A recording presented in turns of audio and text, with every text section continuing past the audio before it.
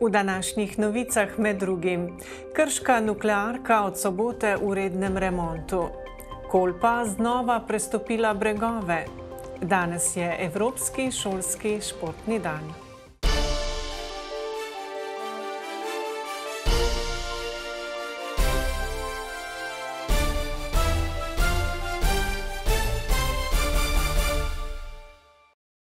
Lepo pozdravljeni. Novice začenjamo v Beli krajini z dopodanskimi posnetki reke Kolpe, ki znova poplavlja. Po napovedih vremenoslovcev naj bi se padavine po noči vendarle umirile in ponehale. Takole je Kolpa prestopila bregove in poplavila priljubljeno kopališče na Primostku. Selimo se v kamp Podzemelj, ki je prav tako delno pod vodo. Fotografije pa so iz kota, kjer je narasla Kolpa, ki je sicer dosegla enega največjih pretokov v zadnjih sedemdesetih letih, poplavila bližnje kleti in prebivalcem zadala nemalo preglavic. Reke naj bi se, tako vremenoslovci, v svoje struge vrnile danes ponoči. Sedaj pa k ostalem dogajanju. Ob drugi uri zjutraj bodo po petsto trinajstih dneh neprekinjenega obratovanja in proizvedenih dobrih osmih milijardah kilovatnih ur električne energije iz elektroenergetskega omrežja izklopili Nuklearno elektrarno Krško, ki tako zaključuje svoj dvaintrideseti gorilni ciklus. Za nuklearko je štirideset let komercialnega obratovanja.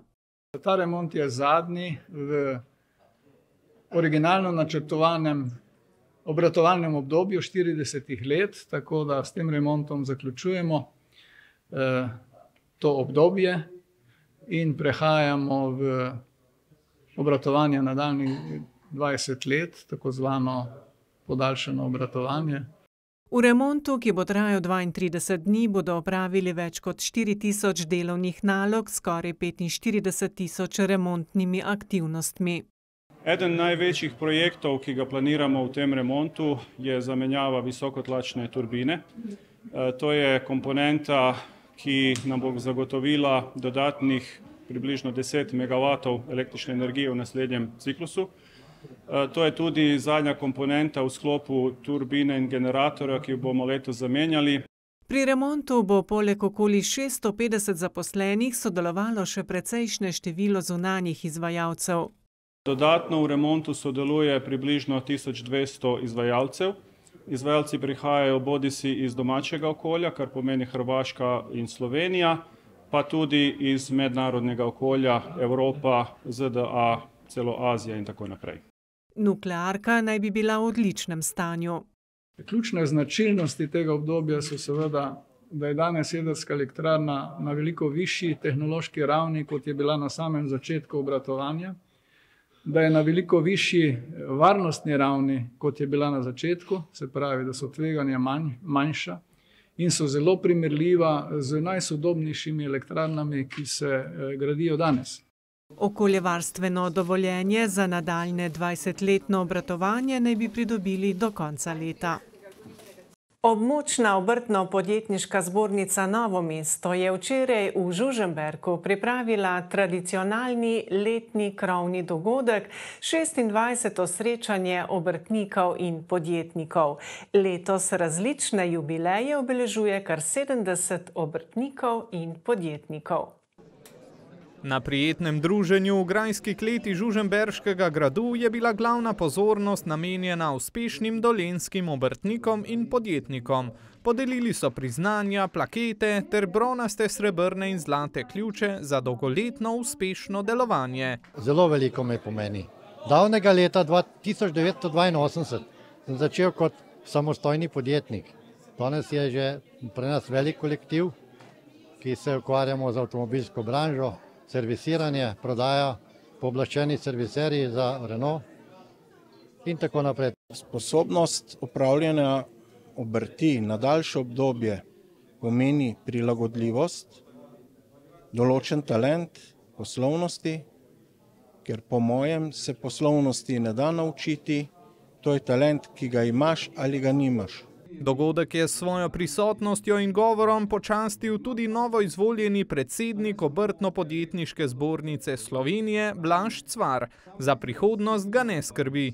Obrtniki in podjetniki smo bili vedno sposobni prilagajanja in smo, bi rekel, trde kože. Ne? Zato verjamem, da bomo tudi to krizo, uh, ki se še morda lahko še malce razvije in stopnjuje, uh, preživeli brez težav. Zelo sem ponosen, da smo lahko jih gostili v občini Žuženberg.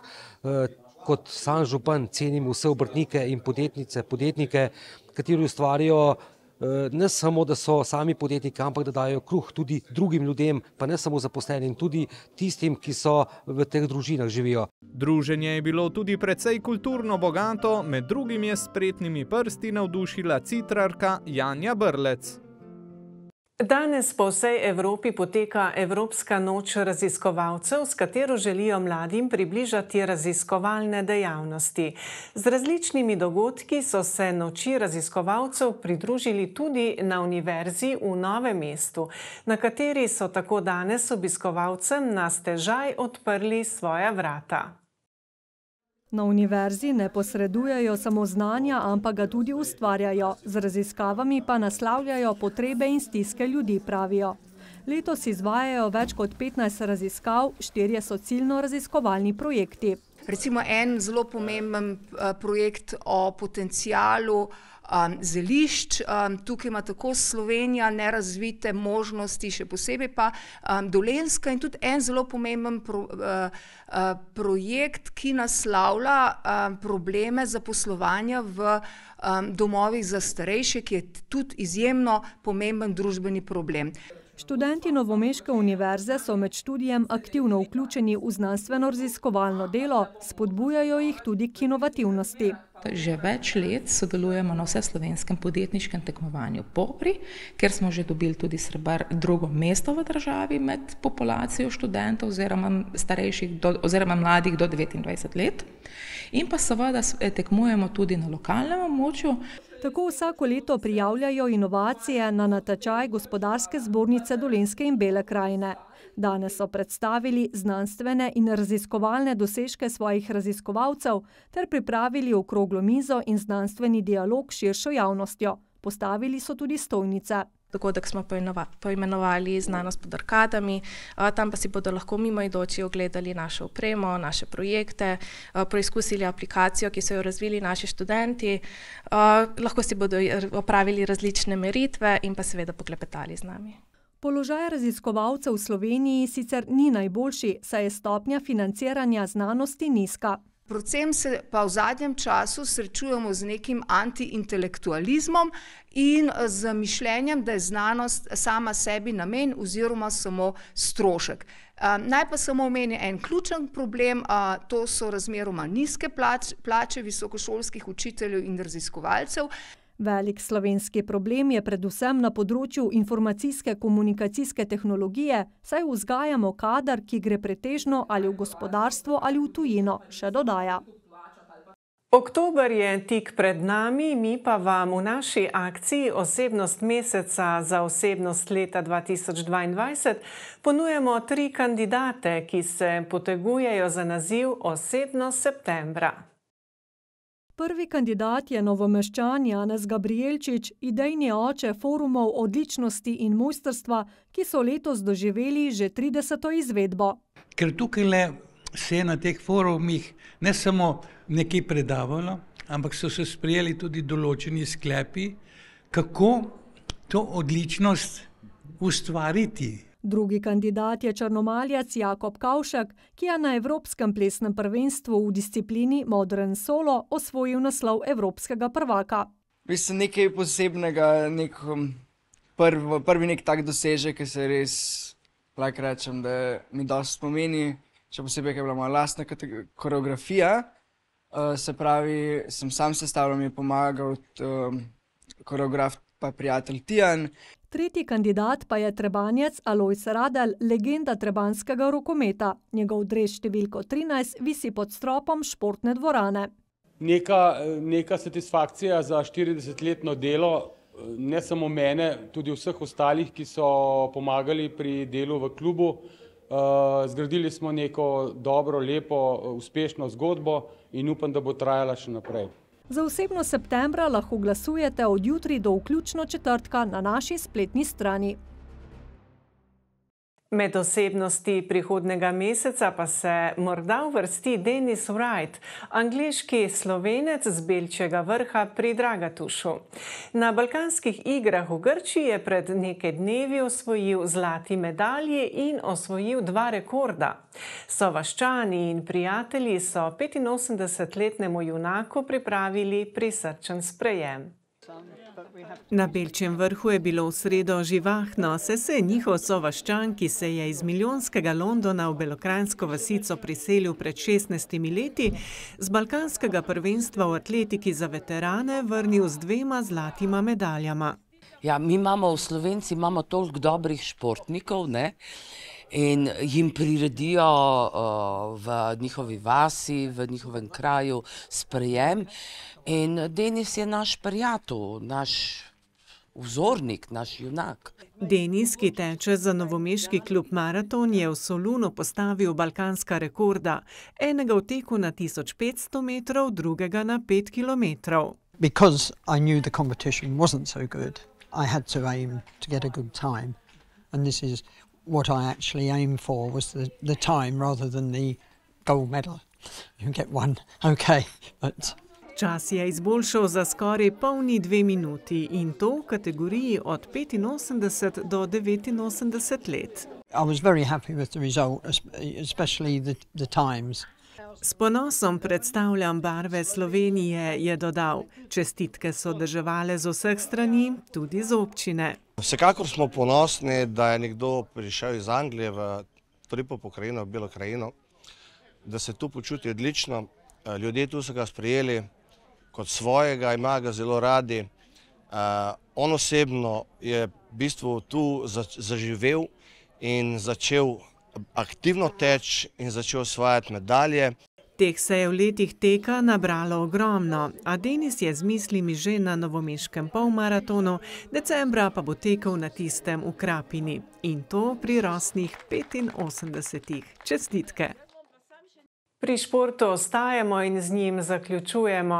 Po številnih evropskih šolah so danes potekali športni dnevi. 30. september je namreč Evropski šolski dan.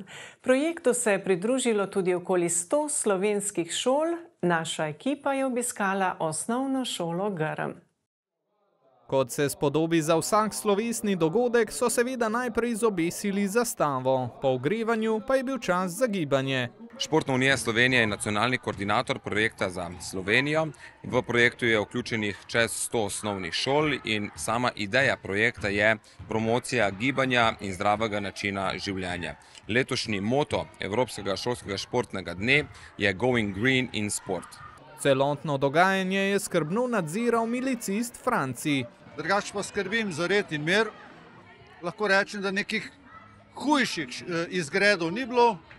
Bilo je kar nekaj prekoračitev hitrosti, sem dal kar nekaj plus točk. So pa tile otroci tudi od mene zahtevali, da bi šel neke vaje delati. Kako uspešen je bil pri tem, pa presodite sami. No, vsako gibanje je boljše kot negibanje. Če si v dobri kondiciji, no, je dobro zate. V, v večino, če je več športa, si bolj zdrav. Tako da meni zdaj, pač to je meni največji faktor, zakaj bi športov, da si pač zdrav, da tvoje telo v redu deluje, ker če bi cel dan doma, ne bi bilo dobro zate. Da smo zdravi, da lahko pač malo dlje živimo, da se imamo fajn in pač bolj, ko si fit, lažje ti je tudi. Greš kam, bolj, bolj ti je fajn. No. Zato, ker je zabavno, lahko se družiš s prijatelji, pa tudi zdravo je za nas. Da je gibanje izredno pomembno za otrokov razvoj, tako motorični kot tudi umski. Vemo, da če smo bolj uh, aktivni, so tudi naši možgani, da moramo reči, bolj aktivni in uh, lažje se soočamo z vsakodnevnimi izzivi, tako gimbalnimi kot tudi miselnimi. Torej, čim več gibati, če lahko, tudi v službi. Hvala za pozornost, naj bo konec tedna prijeten in brez dežnikov. Nasvidenje.